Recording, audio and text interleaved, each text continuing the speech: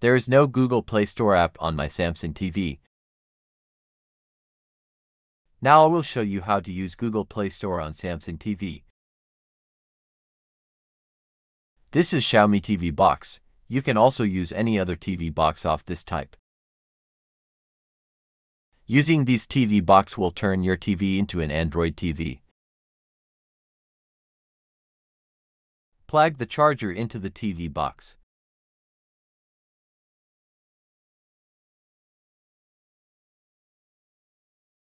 Now connect an HDMI cable TV box to the TV.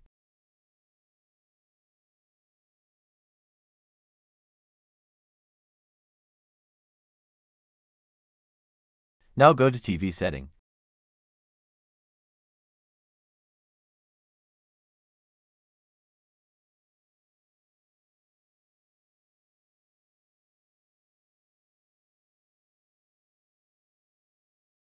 The HDMI option must be enabled.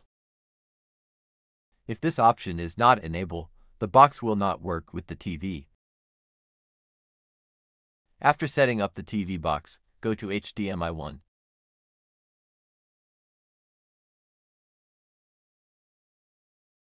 Now go to Setting.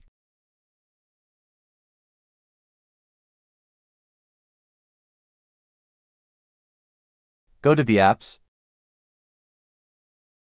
You can find the Google Play Store here. Now you can use the Google Play Store on your TV.